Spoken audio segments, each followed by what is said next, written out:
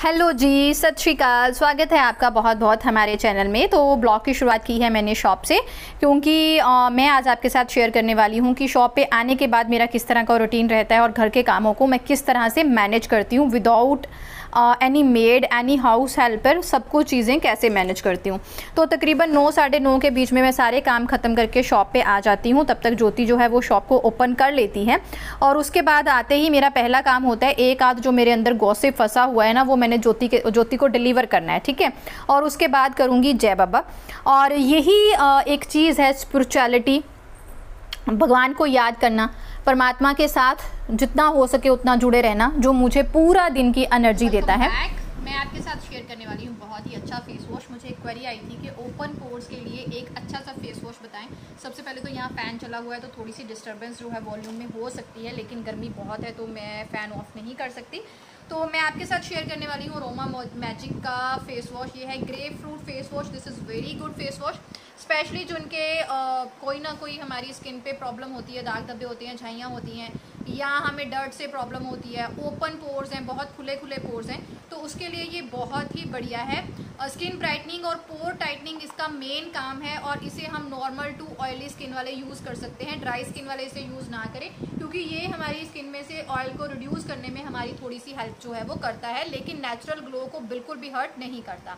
अगर आपकी स्किन जो है पोल्यूशन से डैमेज होती है, जैसे कईयों को क्या होता है कि जब वो बाहर निकलते हैं सनलाइट की वजह से या पोल्यूशन की वजह से उनके माथे पे फेस पे हल्के हल्के से दाने आ जाते हैं जो दिखते तो नहीं है जब हम हाथ लगाते हैं तो हमें फील होते हैं। या हमें थोड़ी बहुत खारिश होती है इची सी लगता है या हमें थोड़ा यहाँ से जो एरिया है ना, वो हमें ड्राई फील होता है। जब हम ऐसे करेंगे तो हमें खिंचाव होता है। तो उसके लिए ये वाला फेस वॉश बहुत ही बढ़िया है। इसमें जो इंग्रेडिएंट्स है, सारे ही बहुत बढ़िया है, लेकिन सबसे बढ़िया बात इसमें है कि इन्होंने ऑलिव को इसमें बहुत अच्छे तरीके से यूज़ किया है। ऑलिव क्या करता है? हमारी स्किन को इलास्टिसिटी देने में हेल्प करता है। नेचुरल ग्लो को मेंटेन रखता है। और बाकी जो इसमें इंग्रेडिएंट्स है सिट्रस है असेंशियल ऑयल्स हैं एलोवेरा के एक्सट्रैक्ट हैं, वो हमारी स्किन में से जैसे सिट्रस चीज़ें होती हैं, वो हमारी स्किन को ग्लो तो देती देती हैं। हमारी स्किन को क्या करती हैं? जो एक्स्ट्रा सीबम प्रोड्यूस होता है ऑयल आता है, हमें ऑयली स्किन लगती है, उसे बाहर निकालने में हमारी हेल्प करती हैं। तो this is a very good face wash Aroma Magic का है ग्रे फ्रूट जिनको ओपन पोर्स की प्रॉब्लम है, जो वो ये यूज़ कर सकते हैं। ऐसी और कोई क्वेरी हो तो आप कमेंट सेक्शन में लिख सकते हैं। Thank you hi guys welcome back to our channel आपका बहुत बहुत स्वागत है हमारे चैनल में। तो पहले सीटी बजने की तैयारी पे, सीटी बजने देते हैं, फिर आपसे बात करती हूँ। अभी बजी नहीं है। और ये दोपहर का टाइम है और सवा तीन के आसपास टाइम होगा। हरित्वी स्कूल से आ गई है तो हरित्वी को लेके मैं ऊपर आती हूँ। और सबसे पहले इस टाइम पे मैं करती हूँ, कपड़े एक लोड लगाती हूँ धोने के लिए। कपड़े धो हो गए हैं मतलब धोने डाल दिए हैं फुली ऑटोमेटिक में। और बहुत सारे काम जो है वो अब करके जाऊँगी, एक घंटा ऊपर रहूँगी, चाय लेके जाऊँगी ज्योति को। और तब मैं छोटे छोटे काम कर जाऊँगी। मैं आपको बैक कैमरा से दिखाती हूँ। चैनल पे नए हैं तो चैनल को सब्सक्राइब ज़रूर कीजिएगा। अच्छा लगता है तो लाइक शेयर कमेंट ज़रूर करें। तो दोपहर को जब हरित्वी स्कूल से आती है तो मैं उसके साथ थोड़ी देर के लिए ऊपर आ जाती हूँ और जो छोटे मोटे काम करने होते हैं वो कर लेती हूँ। जैसे आज मेरा लंच का मेन्यू था कि मुझे दाल चावल बनाने हैं तो हफ़्ते में एक बार रात को दाल चावल बनते हैं। मेरा मेन्यू ऑलरेडी सेट होता है। तो उस दिन मैं क्या करती हूँ, दोपहर को ही बना जाती हूँ, क्योंकि चार बजे होते हैं तो छः सात बजे तो हमें खाना है तो दो तीन घंटे में इतना कुछ ज़्यादा बासी खाना नहीं होता। और फिर मुझे शाम को हरित्वी को टाइम देना है, उसे खुले में उसके साथ खेलना है या खुद भी सैर करनी है तो फिर ऐसा होता है कि शॉप पे पूरा दिन रहने की वजह से बहुत ज़्यादा थकावट हो जाती है और तीन चार गेड़े तो मेरे घर के लग जाते हैं, खाने के लिए लग जाते हैं, चाय के लिए लग जाते हैं, कोई आ जाए तो फिर लग जाते हैं। तो मैं बहुत ज़्यादा थक जाती हूँ क्योंकि सीढ़ियाँ चढ़नी होती हैं और वैसे भी ना पूरा दिन एनर्जी मेंटेन रखना और रात को तो यार वो फ्यूज़ होगी ना एनर्जी तो फिर रात का काम थोड़ा सा प्री प्लान रखती हूँ। और यहाँ पे चावल बन गए थे दाल को तड़का लगाना है। अब मुझे और साथ साथ मैंने यहाँ पे पनीर भी बनाया है। मैं पनीर भी घर पे बनाती हूँ। तीन चार दिन दूध जोड़ती रहती हूँ, फिर तीसरे, चौथे दिन जाके जो है वो मैं पनीर बना लेती हूँ। कभी मैं नींबू डाल लेती हूँ। नींबू नहीं है तो जो वाइट विनेगर हमारे पास प्लेन सिरका होता है अनफ्लेवर वो मैंने रखा होता है। उसको थोड़ा सा डाल के बहुत ईजिली जो है वो पनीर बन जाता है। तो ये छोटे छोटे जो काम होते हैं, जैसे दही लगाना, वो मैं इस टाइम पर करके जाती हूँ और मुझे एक घंटा इन सारी चीज़ों में लग जाता है। कपड़े धो के इस टाइम पर जाती हूँ। दोपहर को कपड़े धोती हूँ, उनको फिर सूखने सूखने डाल के।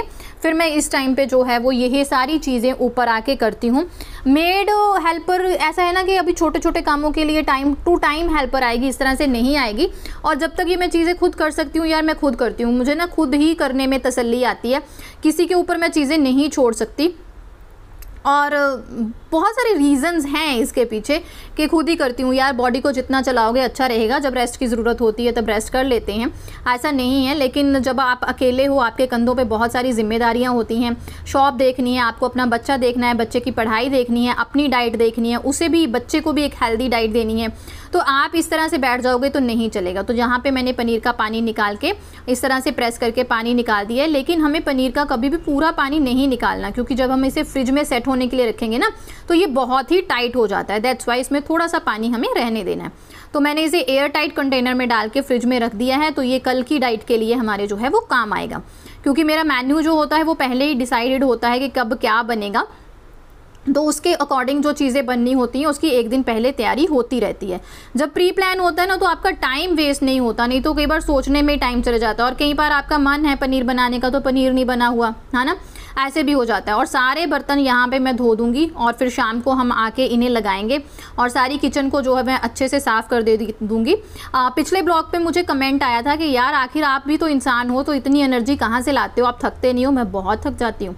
शाम को तो मैं इतनी थक जाती हूँ ना, मेरा दिल करता है कि मैं गिर जाऊँ कहीं पर और मेरे को कोई उठाए ना।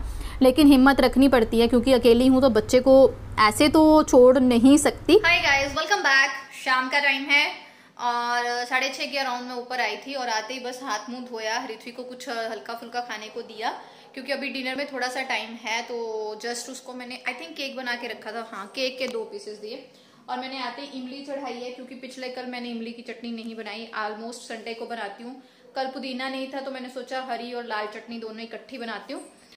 और यहाँ पे ग्रीन चटनी की तैयारी हो रही थी। जस्ट पुदीना डाला है, धनिया डाला है, नींबू डाला है, दही डाला है, एक हरी मिर्च डाली है, प्याज, टमाटर, काला नमक, ये डाल के बस इन सबको मुझे ग्राइंड कर देना है और एक अच्छी सी ग्रीन चटनी टेस्टी सी बना के कंटेनर में डाल के रख लूँगी। पूरा हफ़्ता हरित्वी के लंच में ये काम आती रहती है क्योंकि उसका लंच मैं पिक्की सा देती हूँ आजकल क्योंकि घर पे वो दो मील फुल फ्लैज ले लेती है तो जो उसका बाहर का लंच है वो पिक्की सा होता है। तो आज दाल चावल का टर्न था तो दाल चावल बना के उतरी थी। अब ऋतु को थोड़ी देर ऊपर टेरिस पे टहला लाती हूँ, उसका मन होता है, उसको ऊपर खुली हवा में, दोनों को ही होता है। उसके बाद अकेली जान, ये कर, वो कर, कब तक कर, पता ही नहीं।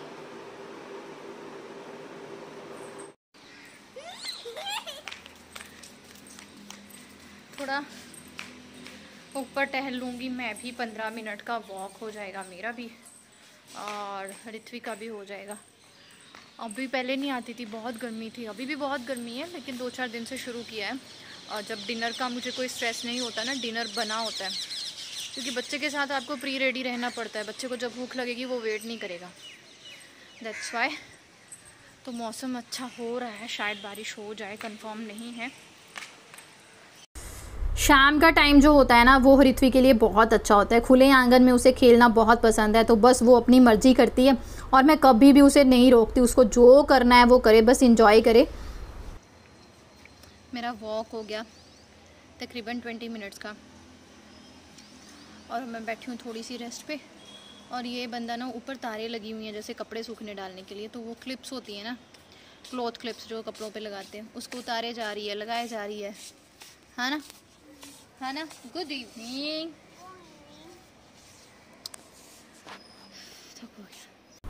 और बस फिर ऊपर से नीचे आते हैं, आते ही फिर मैं एक शार लेती हूँ, फिर हरिथवी को अच्छे से रगड़ के नहलाती हूँ, क्योंकि सुबह मैं उसको नहीं नहलाती, सुबह वो खुद नहाती है, शाम को उसके मैं अच्छे से उसकी ना रगड़ाई चाड़ के उसको करती हूँ। और इस टाइम पे मैंने हरिथवी को जो है वो खाना खाने के लिए दे दिया था, एक साइड पर मैंने इमली की चटनी की तैयारी की, क्योंकि संडे को ये चटनियाँ नहीं बन पाई थी, मेरे पास सामान नहीं था। रेड चटनी उस दिन थी तो मैंने सोचा चलो आज सामान आ गया है ग्रीन चटनी का तो ये दोनों चटनियाँ इकट्ठे बना लेती हूँ। फिर जो पूरा हफ़्ता ना आराम से चलता रहता है। कई बार सब्ज़ी ना भी हो तो स्टफ्ड परांठा बना दो हरिथवी को तो वो चल जाता है। और उसके बाद सारे बर्तन जो है वो मैंने लगा देने हैं। इस टाइम पे पूजा पाठ मैं कर लेती हूँ। और सब बस इसी तरह से काम चलता है। और पूजा पाठ एक ऐसा साधन है ना, एक ऐसा स्रोत है, आप जो मर्ज़ी कह लीजिए मेरी ज़िंदगी में। मेरे में बहुत पॉजिटिविटी और बहुत एनर्जी आती है। जब मैं दुखी होती हूँ ना, किसी, कोई चीज़ मुझे पिंच कर गई, जब मेरा डिप्रेशन मेरे पे बहुत हावी हो गया स्ट्रेस हावी हो गई तो बस भगवान के आगे बैठ जाना है, पाठ लेके रोना है, खूब रोना है, बस भगवान के आगे रोना है और उससे हिम्मत मांगनी है। बस, और सारा दिन मैं इसीलिए भी बिज़ी रहती हूँ क्योंकि मेरे दिमाग में ऐसा कोई थॉट ना आए जो मेरे अंदर ना वो नेगेटिविटी लेके आए। तो यहाँ पे रेड चटनी बन गई थी सेल्फ वगैरह अच्छे से क्लीन हो गई है, चटनी को ठंडे होने के लिए रख दूँगी ताकि फिर सोने से पहले इसे भी एक कंटेनर में भर के मैं फ्रिज में रख दूँ। बस ऐसी चीज़ें जब ऑलरेडी बनी होती हैं ना तो मान लो किसी दिन सुबह आपसे जल्दी नहीं उठा गया, आपके पास डोसा बैटर है, चलो जी। डोसा बना लो, अप्पे बना लो, इडली बना लो, उसके साथ कोई भी चटनी दे दो, हो जाता है ना ईजी बस वही है, तभी इसीलिए ये चीज़ें प्री प्लान रहती हैं। और जय बाबा जी हो गया है, बस सारी लाइट्स ऑफ़ करेंगे, अब हरित्री के साथ टाइम स्पेंड करेंगे। और सारे कपड़े धुल गए थे, उनको रखा ये अच्छे से सूखे नहीं हैं और ये मेरी फ़िशेज़ इनको गुड नाइट करेंगे, इनकी लाइट ऑफ़ करेंगे। रात को मैं लाइट ऑफ़ कर देती हूँ। और ये टाइम होता है आठ बजे के अराउंड अब मुझे आधा घंटा हरिथ्वी की स्टडी पे देना है। डेढ़ दो घंटा मैं उसे शॉप पे पढ़ा लेती हूँ। आधा घंटा रात को फिर एक रिवीजन होती है, जो मैं मतलब जो उसे पढ़ाना है ना, उसको पक्का कर देना है उसमें। ऐसा ना हो कि उसे किसी चीज़ में कोई कन्फ्यूज़न रह जाए। स्पेशली हिंदी और पंजाबी में तो मैं अपना ज़ोर लगा के रखती हूँ कि लैंग्वेज में वो कहीं पर भी किसी से पीछे ना रहे। मेरा रात का जो है वो लास्ट ड्रिंक है, पुदीने की चाय। तो फ्रेंड्स मेरा स्किन केयर वगैरह मैंने अच्छे से कर लिया, आधा घंटा बैठ के रेस्ट भी कर ली, नींद बहुत आ रही है। पौने नौ का टाइम है बस, और मैं और हरिथ्वी दोनों सो जाएँगे। और मैं हरिथ्वी को स्पेशली नहीं सुलाती, दोनों सो जाते हैं आराम से। और, ये लास्ट ड्रिंक है मेरा दिन का पुदीने की चाय। If you are in stress आपको डिप्रेशन स्ट्रेस ऐसी कुछ भी प्रॉब्लम है तो रात को सोने से पहले एक कप पेपरमेंट टी ज़रूर लें। ये आपको बहुत ज़्यादा हेल्पफुल रहेगी। Thank you very much for watching us Sat Srikal channel को सब्सक्राइब और शेयर ज़रूर करें। Thank you